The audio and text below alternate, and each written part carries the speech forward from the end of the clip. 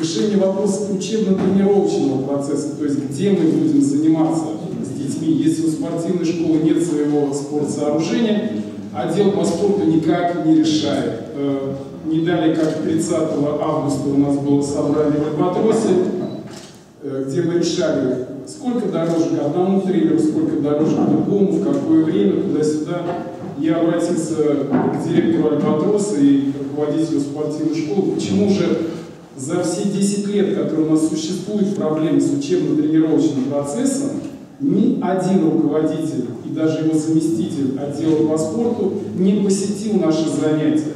Если вы помните, руководство отдела по спорту у нас недавно поменялось, и после ухода Леонидовича Быстрова у нас оно было достаточно долгое время вакантно. В очередь народ что-то не выстроился на это место, чтобы решать эти проблемы. Это говорит не о том, что